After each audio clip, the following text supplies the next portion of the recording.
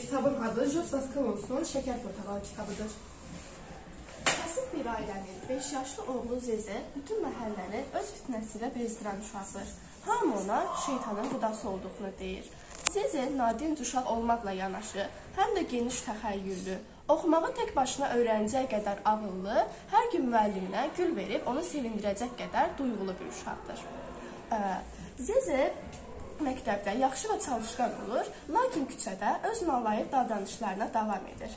Onun bu davranışlarına yalnız böyük bacısı və müəllimi rəğbət bəsləyir.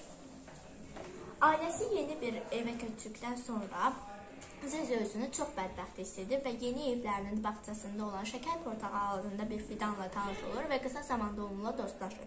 Adını Mingo Hinho qoyur və qısa zamanda həmin şəkər portağalına e, gün ərzində etdiklərini, xəyallarını danışmağa başlayır.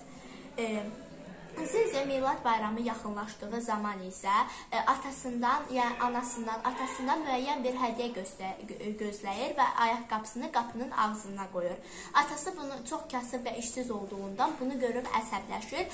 Zizi isə etdiyi hərəkətdən çox peşman olub atasına üzr məqsədi ilə yeni bir hədiyyə almaq istəyir və pul yığmağa başlayır. Zizinin bir yaramazlıqlarından biri də şəhərin ən varlı və ən gözəl maşını olan bir maşının dalından asılmaq olmuşdur. Bunun bu maşının sahibi isə Portuqaliyalı Maniel olmuşdur.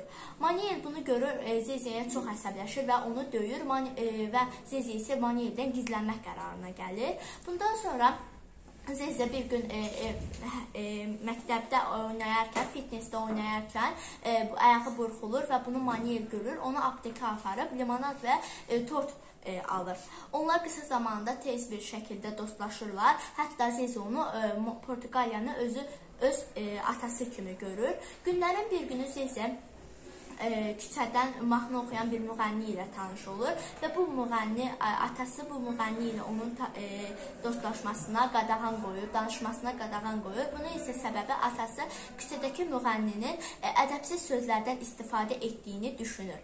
Lakin əlbəttə ki, ə, mani ə, Zezi atasının sözünə qulaq asmır. Hətta bir dəfə həmin müğənni ilə atasına mahnı yazır.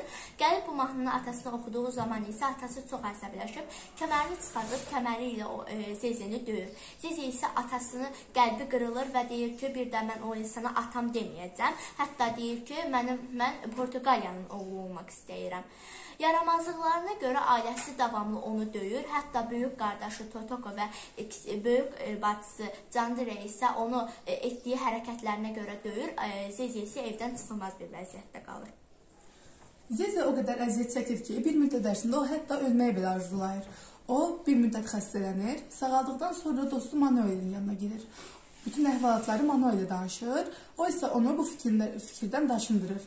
Bir gün Zizi sağalıb məktəbə gedərkən, məktəbdə olarkən e, bir xəbər gəlir ki, Portuqa qəzaya düşüb, ölüb. E, bunun üstündən də söz söhbət çıxdı ki, e, Zizinin həyatında olan yol işləri ilə bağlı Zizinin həyatında olan şəkər portağalı fidanı kəsiləcək. Üst-üstə gələn bu ağrılar Zezenin xəstələnməsinə səbəb olur. Zeze bir e, Zeze xəstə olur. Bu zaman şəhərlilər onun yanına ziyarətə gəlir və e, o lakin heç kimlə danışmır. Bu zaman o yalnız e, balaca Fidanı ilə danışır. E, balaca Fidanı ilə danışır. Zeze bu əhvalatlardan sonra atası iş tapır, o sağalır. Lakin onun uşaqlığı ölüb və ürəkdə heç sağalmır.